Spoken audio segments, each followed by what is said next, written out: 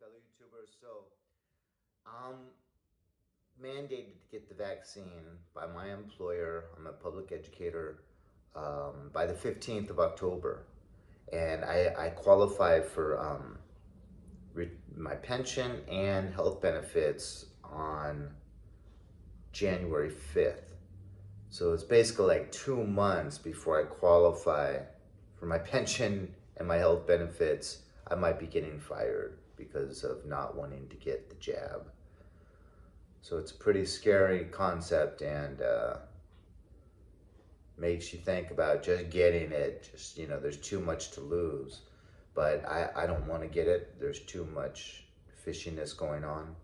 I just read a study that in Israel and um, Ireland, that their rates are 50-50 between people that have gotten the jab and people that have not gotten the jab that are in the hospital, hospitalized.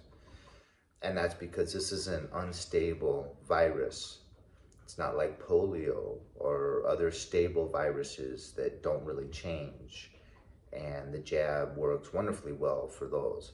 But this is unstable, so it's constantly mushrooming out into different variants that would need a different type of jab.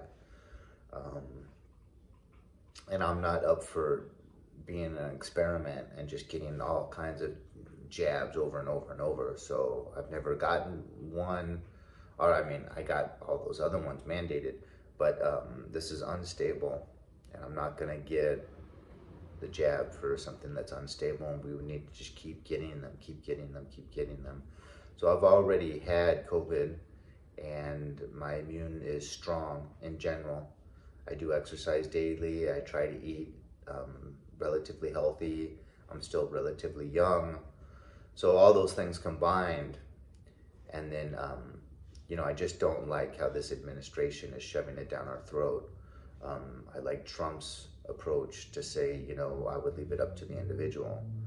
Um, I really don't like the way this is being forced on us as if we're in a Soviet country and so I'm, I'm just not willing no matter what. So um, wish me luck because I hope something gets worked out. I don't want to lose everything I've worked for my, my entire adult life.